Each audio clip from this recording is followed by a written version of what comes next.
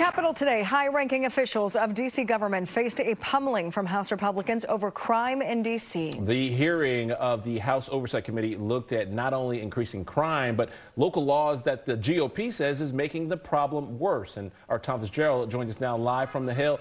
And Fitz, uh, by looking at some of this video, it was a fiery one today.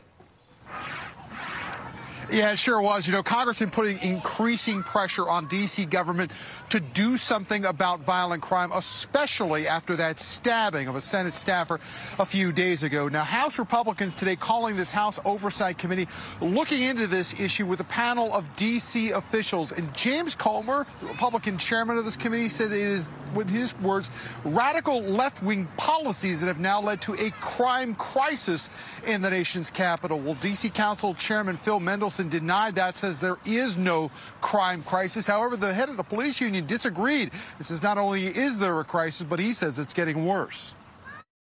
With regard to crime, yes, there is considerable concern. But while perception is important, the reality is less concerning.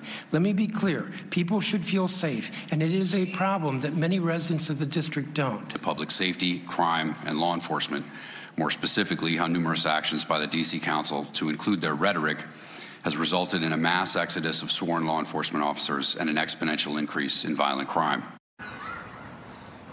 And the political battle lines were pretty clear on this today. The Congressional Black Caucus held a briefing blasting this hearing altogether and say that Republicans instead should be moving on D.C. statehood. However, Republicans pushed back on that and said, look, Crime in the nation's capital is a national problem because so many people from around the country here visit this area and they say that it is the weak on crime policies that they describe on the D.C. Council, which is making the problem worse.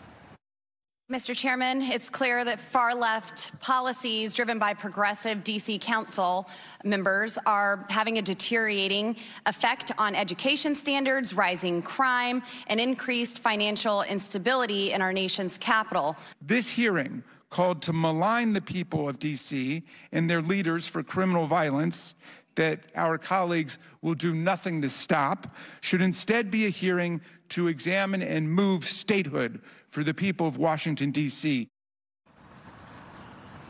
In fact, House Republicans are just getting started on looking at D.C. local laws. Up next, 2022 police and justice reform bill that Republicans want to get rid of. Live on the Hill tonight. We'll send it back to you.